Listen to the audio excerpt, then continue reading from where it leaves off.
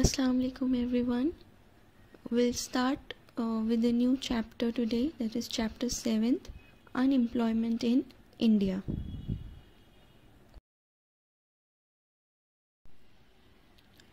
India is a developing economy and one of the fastest growing economies of the world. The problem of unemployment is considered to be the biggest challenge to the development of our country. Unemployment leads to a waste of human resources. Long term unemployment results in mass poverty and slow economic development. Mostly, young people face the problem of unemployment. Young people are a major human resource, key agents for social change, and a driving force for economic development and technological innovation. India has considerable young population and therefore unemployment among youth is the most critical challenge of the 21st century. There is an imbalance between employment opportunities and increasing population which has resulted in large scale unemployment. So generally unemployed people are involved in unproductive works like gambling, and they indulge in antisocial and anti-national activities which hampers the growth of the nation.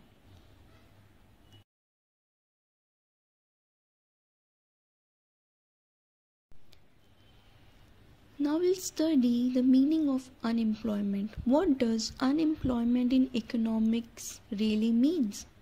Normally, anyone who is not gainfully employed in any productive activity is said to be unemployed. However, in economics, unemployment is to be studied with, with respect to nature, working age group, demand for and supply of labor, and prevailing wage rate if the person falls short in any of the four categories, then he or she will be considered as unemployed. The rate of economic growth is not fast enough to generate adequate jobs to absorb the expanding labor force. Therefore, unemployment is a situation in which people in the age group of 15 to 59 years are able and willing to work at the prevailing wage rate but unable to get a job. So the four factors here important are that one the age group which defines unemployment is 15 to 59 years. Now among this age group the people are able to work. Also they are willing to work but they do not have proper job opportunities which is defined as unemployment in economics. For a person to be considered employed, it is essential that the person should be engaged in work for a minimum number of hours per week. So according to National Sample Survey Organization in India, a person is considered unemployed if he works for less than 14 hours per week. Those who work for 15 to 28 hours a week are considered as underemployed. And the person working for 8 hours per day is considered employed on a standard basis. So there are different definitions or meaning of, of unemployment in economics.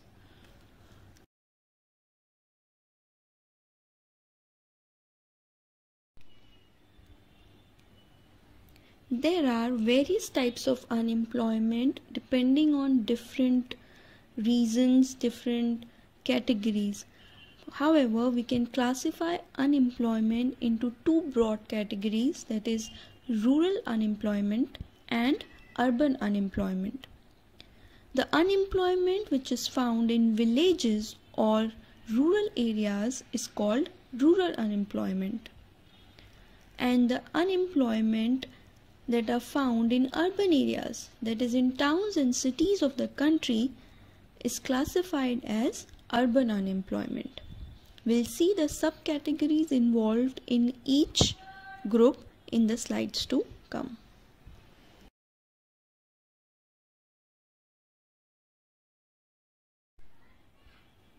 As we have seen that rural unemployment is the unemployment which is found in villages or rural areas, it can be further divided into two types. The first one is seasonal unemployment. A large number of people remain unemployed during the slack season or in the off season. Agriculture being a seasonal occupation, farmers have to depend upon monsoon for cultivation. Majority of the labor force in the agricultural sector remain unemployed for nearly 5 to 7 months a year. Seasonal unemployment is also found in industries like tourism, sugar factories, ice factory, fisheries and so on. That is, for peak season people are employed and when there is off season people remain unemployed. So this type of unemployment is called as seasonal unemployment. Another type of rural unemployment is disguised unemployment. It is also known as invisible unemployment. Disguised unemployment is generally found in villages in India. It is a situation in which more people are doing work than actually required. Even if some are withdrawn, production does not suffer. In simple words, it refers to a situation of employment with surplus manpower in which some workers have zero marginal productivity. For example, on a field or on a piece of land, cultivation of certain crops is done. For that, the requirement of the labor force is say three people. But because of this disguised unemployment, there are several people working on that particular field, more than what is actually required. And this type of employment is called as disguised unemployment. Although people are working on the field, but their contribution to the final product is negligible or zero or marginal. The excessive pressure on land leads to disguised unemployment in rural areas. It is estimated that nearly 20% of the labor force is disguisedly unemployed. Joint family system, lack of alternative job opportunities result in overcrowding in agriculture. And these are the main reasons for disguised unemployment.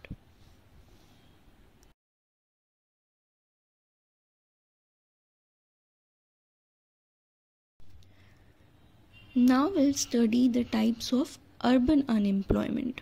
Urban unemployment can be further classified into two types that is educated unemployment and industrial unemployment. The first one is educated unemployment.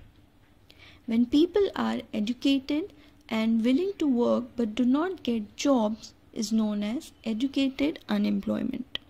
This type of unemployment is found among matriculates, undergraduates, graduates, and even postgraduates. Casual approach to education, imbalance between job opportunities and number of youth, preference for white collar jobs, lack of employable skills, lack of awareness about available educational opportunities are the main reasons for unemployment among the educated youth in India. Another type of urban unemployment is industrial unemployment. It refers to unemployment in the industrial sector. The unemployed workers may be skilled or unskilled. This is generally a form of open unemployment. Slow industrial growth, rapid growth of population, lack of training facilities, lack of modern technology, low mobility of labor, are the main reasons for industrial unemployment.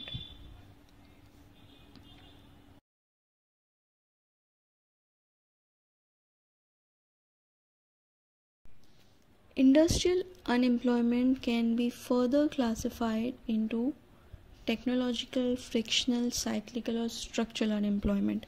The first one is technological unemployment. In industry, there can be unemployment because of lack of technology. Technological unemployment arises because of changes in technology. Modern technology is capital intensive and requires less laborers. When new techniques are introduced in the industrial sector, existing workers are displaced or replaced from their jobs due to lack of proper training. For example, computerization, introduction of robotic technology have all resulted in technological unemployment. Second type of industrial unemployment is frictional unemployment. Frictional unemployment is caused due to breakdown of machinery, power failure, shortage of raw material, strikes by the workers. So, any friction in the day to day working of the industry results in unemployment called as frictional unemployment. Frictional unemployment is temporary in nature. Cyclical unemployment. Cyclical unemployment is the result of cyclical fluctuations in the level of business activity. Every nation's economy passes through phases of prosperity or boom and depression.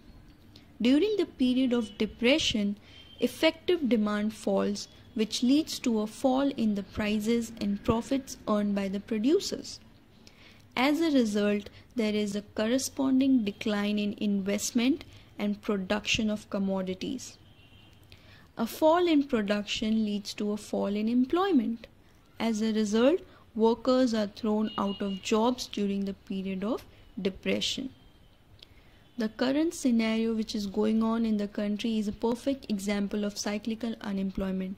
Because of the current pandemic, the industries or the economy is facing a depression and because of that people are lo- losing their jobs and this is nothing but the cyclical unemployment. That is unemployment caused due to the fluctuation in the economy. And the last type of industrial unemployment is structural unemployment. This type of unemployment arises due to drastic changes in the economic structure of a country. These changes may affect their supply or demand for factor of production. Structural changes in the economy are caused by changes in government policies, shortage of capital, shifting of industry from one region to another, Structural unemployment is a long term phenomenon. Structural unemployment takes place because of a mismatch between the skills of workers and the jobs that are actually available. For example, horse carts had been replaced by auto rickshaws. There was a change in the structure of the transport which resulted in unemployment or another example could be introduction of computerized typing that resulted in unemployment among the manual typist so these are the four types of industrial unemployment.